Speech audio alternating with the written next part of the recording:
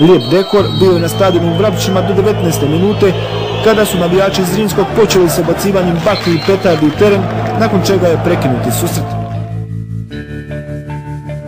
Da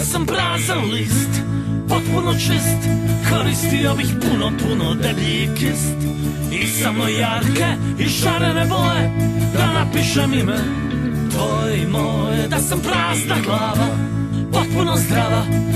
Bih više ništa učio zabadava Samo onoliko koliko mi treba Da još ostane paf od tolikog neba